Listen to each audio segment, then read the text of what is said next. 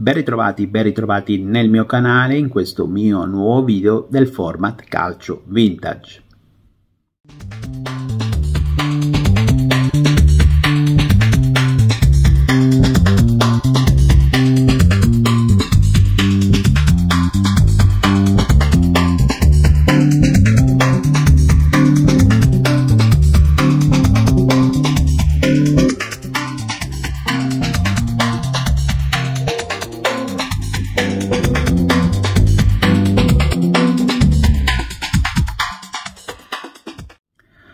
Oggi è il 29 maggio ed è per noi Juventini una data particolare, una data da ricordare.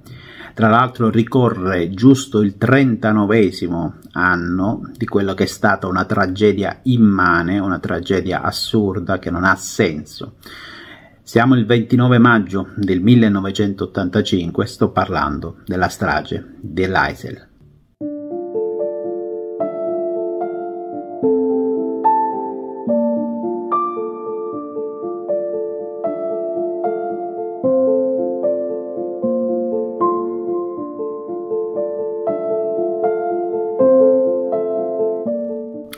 39.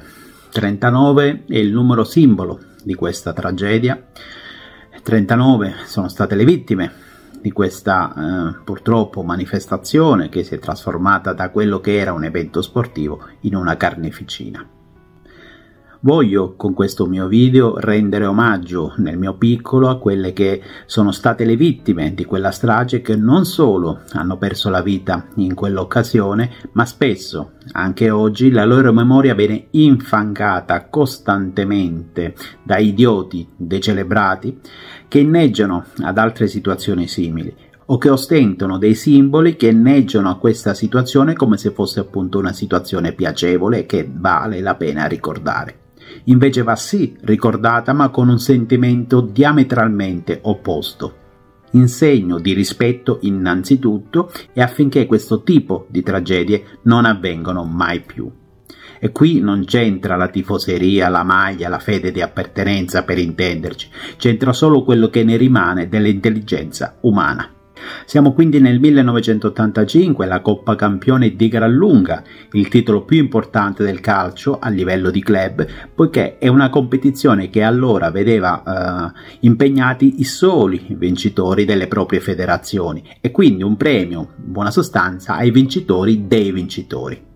Le due squadre, che erano riuscite in qualche modo a giocarsi questa finale, quindi questo trofeo, avevano una storia diversa. Il Liverpool aveva già vinto in passato questa competizione, mentre noi non avevamo ancora avuto questo onore.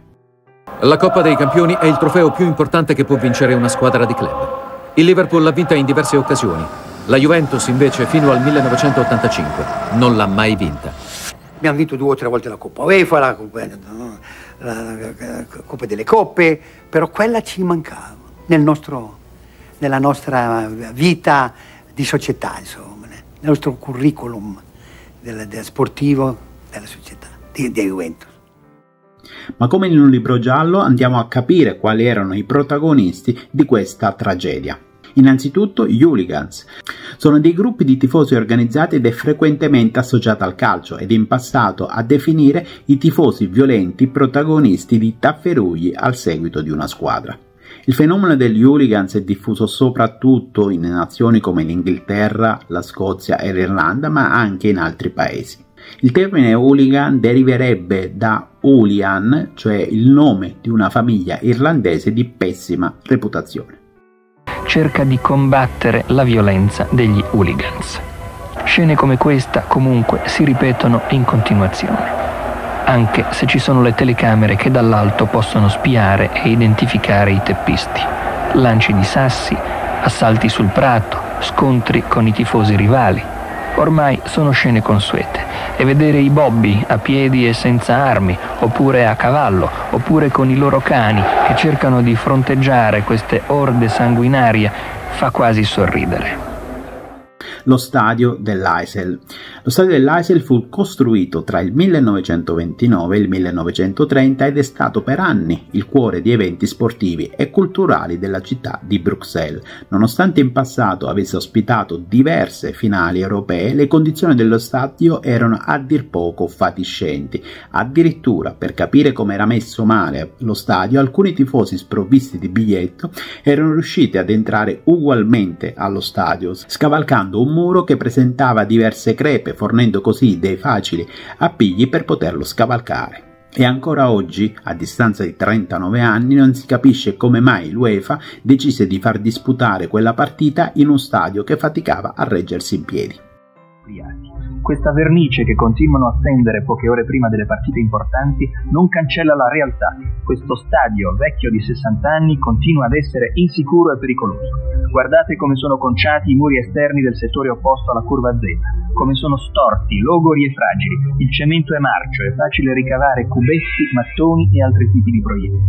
Non hanno avuto nemmeno il pudore di cancellare un segno imbarazzante. Questo è il cantiere abbandonato dietro la curva Z dove gli hooligans andavano a rifornirsi di strumenti di morte quella sera. I tifosi della Juve.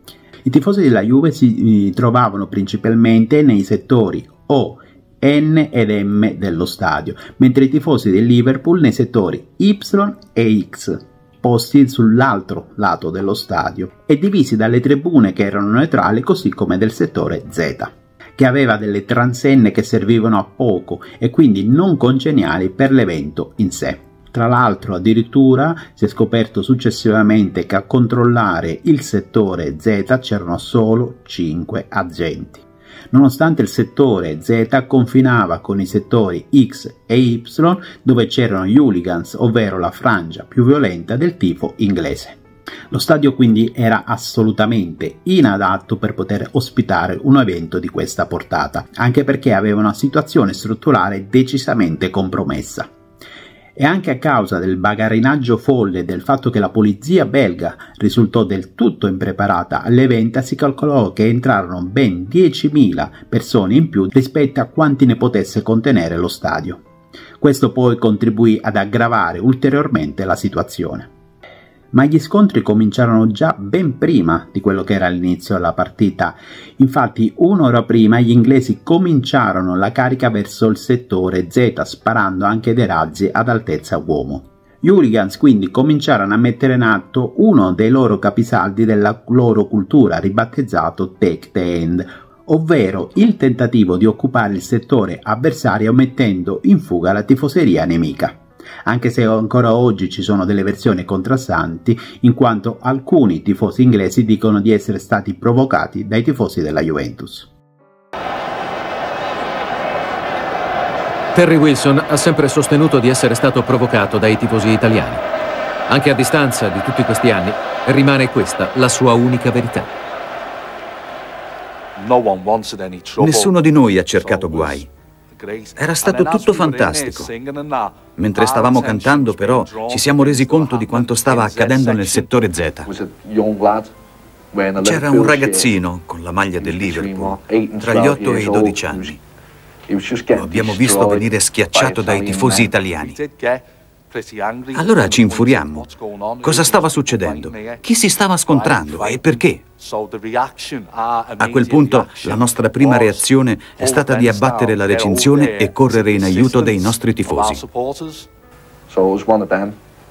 Una delle due. O rimanevamo lì, lasciando che gli italiani malmenassero i tifosi del Liverpool, oppure correvamo ad aiutarli the Liverpool fans or go there, try and help them do something about it.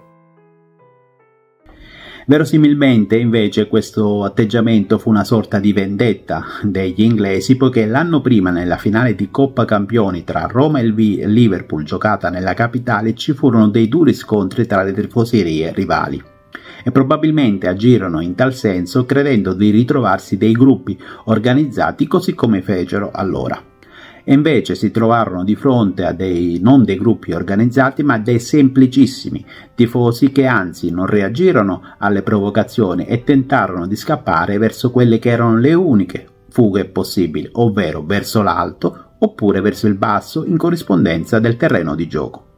Alcuni tifosi quindi riuscirono a salvarsi e a fuggire, soprattutto coloro che erano alle, nelle zone perimetrali del settore Z, mentre purtroppo coloro che erano nella zona centrale furono quelli più in pericolo e subirono gli attacchi degli hooligans che vennero quindi picchiati con ogni mezzo a disposizione, quindi con mazze, con pietre e con bottiglie. La polizia intervenne addirittura con mezz'ora di ritardo e in un primo momento usò i manganelli e picchiò i tifosi della Juventus che tentavano in qualche modo di scappare dal settore Z verso i cancelli di sicurezza, non capendo cosa stava succedendo realmente e il perché quella massa di tifosi sembrava appunto impazzita, pensando che volessero solo invadere il terreno di gioco. Chi fugge verso il basso deve fare i conti con l'assoluta impreparazione della polizia. Soltanto dopo alcuni tragici e fatali minuti gli agenti capiscono che i tifosi compressi non cercano l'invasione di campo, ma la sopravvivenza e si decidono a rimuovere i catenacci dei cancelli. Nel caos più agghiacciante, qualche poliziotto in alto a destra sui vostri teleschermi usa persino il manganello nei confronti di chi cerca disperatamente la fuga. E di fronte a questa scena vi chiediamo soltanto di valutare pietosamente lo stato di totale anarchia nel quale agivano le forze dell'ordine.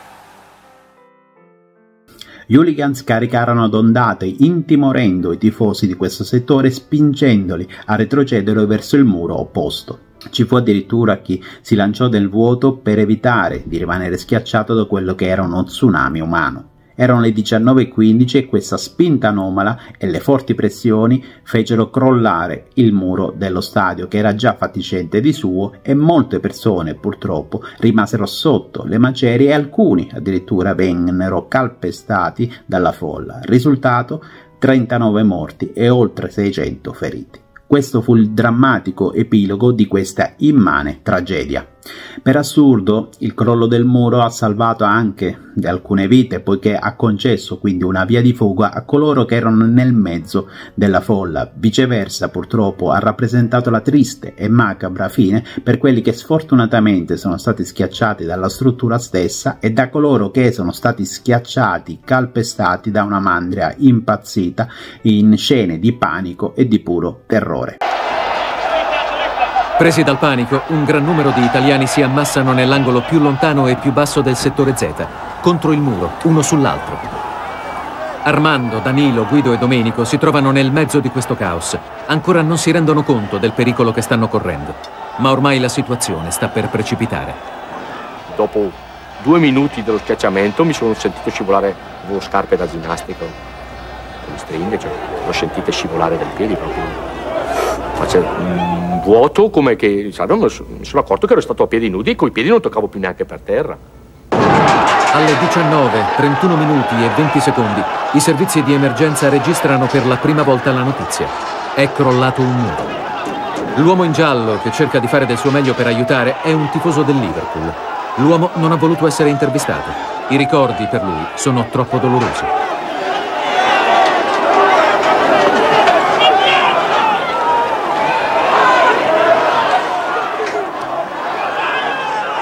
All'estremità del settore Z un muro è crollato sotto la pressione dei tifosi presi dal panico. Ma non è stata questa la causa principale delle morti.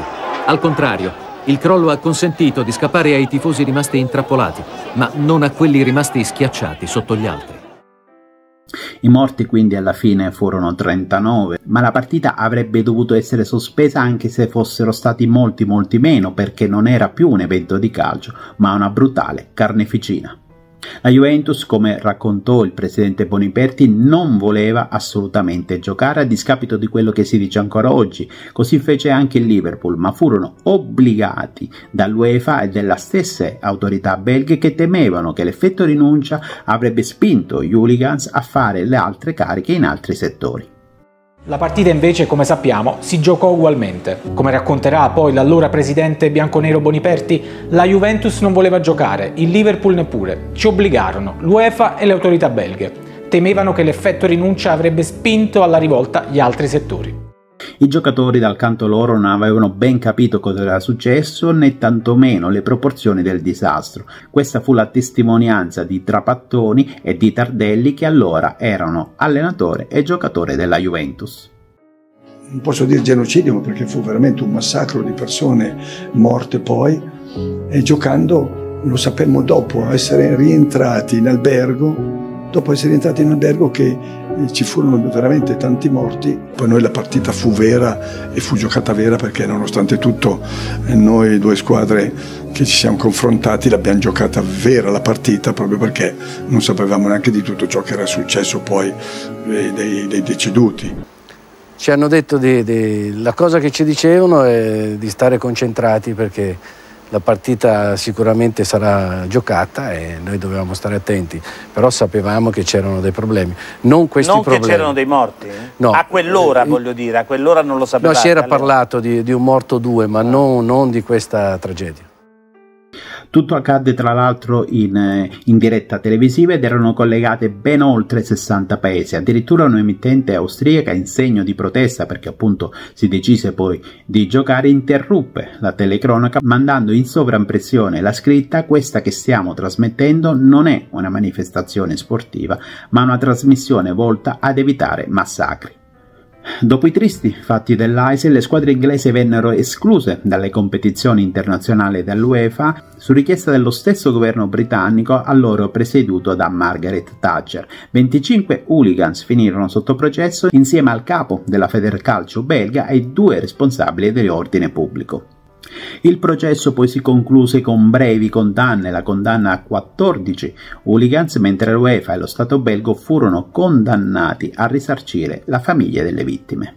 Il 28 aprile dello scorso anno è terminato a Bruxelles il processo di primo grado che avrebbe dovuto punire i responsabili della tragedia. Questa la sentenza. Quanto riguarda gli hooligans, 14 dei 25 teppisti inglesi rinviati a giudizio sono stati condannati a tre anni con la condizione sono quindi tornati in libertà insieme agli 11 teppisti riconosciuti non colpevoli. Il capitano della gendarmeria belga, Johan Mailleux, responsabile della sicurezza sul campo la sera della strage, è stato condannato a soli nove mesi, anche lui con la condizione. Assolto invece il suo superiore, il maggiore Michel Quinsier, che coordinava le operazioni dal suo ufficio. Condannato a sei mesi con la sospensione condizionale della pena, il segretario dell'Unione Calcio belga Albert Rosen, ma la Federcalcio belga è stata dichiarata responsabile civilmente degli incidenti. Assolta all'UEFA nelle persone del presidente Jacques Georges e del segretario generale Hans Bergerter. Assolto il comune di Bruxelles nelle persone del sindaco Hervé Brujon e dell'assessore allo sport signora Viviane Barrault. La magistratura belga ha quindi considerato colpevoli a vario titolo di gravi negligenze il capitano della gendarmeria e il segretario dell'Unione Calcio Belga. Su richiesta dello stesso governo britannico, presieduto da Margaret Thatcher, il Liverpool e gli altri club inglesi vengono esclusi dalle competizioni internazionali a tempo indeterminato. Lo stadio del laser venne successivamente abbattuto e dalle sue ceneri sorse nel 1994 un nuovo impianto e del vecchio stadio oggi non è rimasto più nulla. Spesso nel gergo dello spettacolo si dice che quando cade l'acrobata entrano in scena i clown ed è uno del titolo dei tanti libri che parla di questa assurda strage. E difatti in quella triste sera di maggio andò in scena un vero e proprio circo dell'orrore che chi di dovere non ha avuto il coraggio di fermare. E il calcio, in quel bagno di sangue, perse per sempre la sua innocenza, trasformandosi in uno spettacolo che non guarda in faccia nemmeno alla morte. Eppure nelle avvisaglie c'erano già state, come una strage gemella avvenuta solo 18 giorni prima in quello che fu definito il disastro di Bradford avvenuto in Inghilterra che costò la vita a 56 persone e ci furono anche 256 feriti. In quel contesto, il fa- però, il fattore che spinse al panico la folla non fu la carica degli hooligans, ma un incendio in un settore dello stadio, che quindi provocò un'ondata non controllata di tifosi impauriti. Quella partita quindi non rappresenta una vergogna solo sportiva, ma di tutto il genere umano, è una vergogna che nonostante tutto non va assolutamente dimenticata affinché fatti del genere non si ripetano mai più.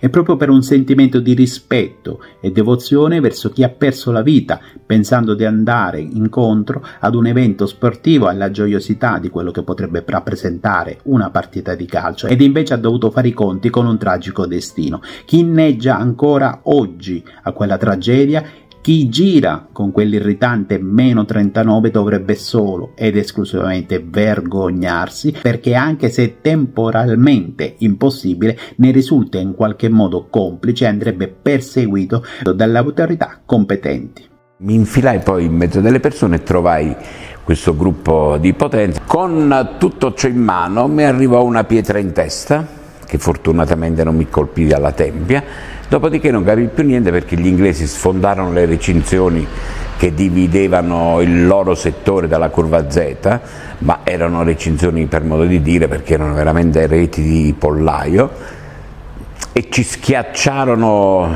contro perché ovviamente nella curva Z non c'erano gli ultra juventini.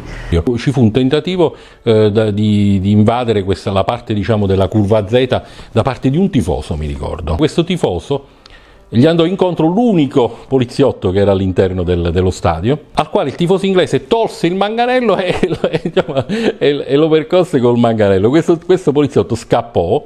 Da lì probabilmente gli inglesi si resero conto che non, si, non esisteva assolutamente nessun tipo di controllo. Ruppero la rete, invasero il settore Z, la polizia non esisteva nel settore, erano cinque, cioè vi erano cinque poliziotti fu un affare di attimi.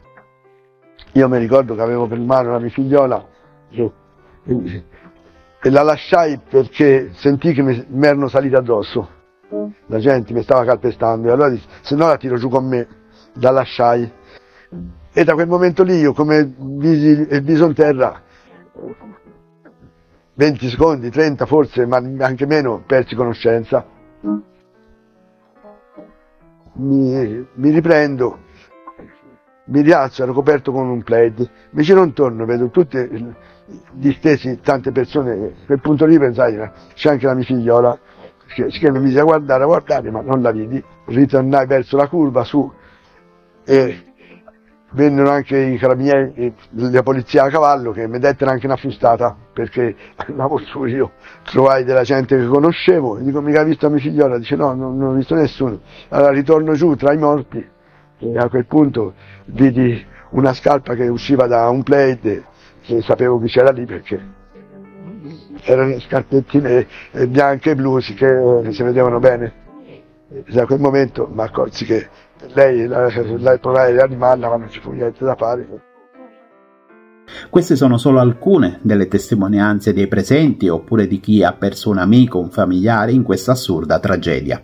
Quello di cui onestamente non vado molto fiero sono stati i festeggiamenti dei nostri giocatori che anche se hanno detto che non sapevano qual era l'entità e le gravità della, dell'intera faccenda, quindi si parlava di un morto magari qualcosina in più, non avrebbero dovuto festeggiare così eh, con la coppa lì proprio dove c'erano stati poche ore prima dei morti e tanti tanti feriti anche se alcuni di quei giocatori che hanno festeggiato quel trofeo vinto poi negli anni si sono pentiti e hanno chiesto anche scusa. Eh, 25 anni fa, forse sì, adesso noi 25 di più e vedendo questi filmati non, non dovevamo farlo, non dovevamo farlo, l'abbiamo fatto e sinceramente in questo momento chiedo scusa. Ma ve l'avevano chiesto? No, i tifosi non è che ce l'avessero no, chiesto, però no, i dirigenti non ci avevano chiesto niente. I tifosi ci avevano chiamato sotto la curva, e ci siamo andati e in quel momento probabilmente sembrava giusto festeggiare, certo. anche se eh, sinceramente noi non sapevamo grande, la grande tragedia, il livello, il livello della, della tragedia, tragedia ma in questo momento chiedo scusa né tantomeno quello che sono stati i festeggiamenti nei giorni successivi dei nostri tifosi che con caroselli nella città di Torino hanno festeggiato quello che è un trofeo che si trova sì nella nostra bacheca ma onestamente non è che ci si può vantare più di tanto. Negli anni a seguire ci furono altre occasioni che videro la squadra inglese, quindi il Liverpool e la Juventus, fronteggiarsi in campo europeo, come il 5 aprile del 2005, quarti di finale di Champions League in terra inglese. In quel contesto due simboli, due uomini simbolo della Juventus e del Liverpool, quindi Michel Platini che tra l'altro era presente in quella partita e Jan Rush, simbolo del Liverpool che poi tra l'altro ha anche un passato non fortunato nella nostra squadra, portarono insieme quello che fu una targa commemorativa per andare a commemorare quella vicenda e rendere omaggio ai 39 morti. Nello stesso contesto i tifosi inglesi cercarono in qualche modo di scusarsi eh, dicendosi dispiaciuti con dei striscioni o quant'altro, mentre la curva invece bianconera rimane ostile girandosi di schiena a quelli che sono stati gli attestati appunto dei tifosi inglesi. Non è sicuramente stata una reazione encomiabile da parte dei nostri, però devo essere sincero, meglio così piuttosto che una reazione violenta è stata in fin dei conti una protesta pacifica perché possono anche passare tanti anni da quella triste serata, però il ricordo, soprattutto per i familiari che hanno visto appunto un loro fratello, un loro amico, un loro parente, un loro conoscente perdere la vita, rimane vivo nei loro ricordi. Detto questo io vi ringrazio, vi saluto, spero che abbiate apprezzato questo mio modo di poter omaggiare quelle 39 vittime di questa assurda tragedia che non ha colori, non ha fede sportiva. Si tratta purtroppo di 39 persone che hanno perso la vittima e tra loro c'era anche un bambino di 10 anni. Penso di aver detto tutto e un ringraziamento a tutti quelli che hanno voluto vedere questo mio contenuto, like se vi sarà piaciuto il video, commenti giù avete la possibilità di dirmi la vostra e ancora un sentito veramente ricordo verso queste 39 persone che purtroppo non ci sono più. Grazie ancora e alla prossima.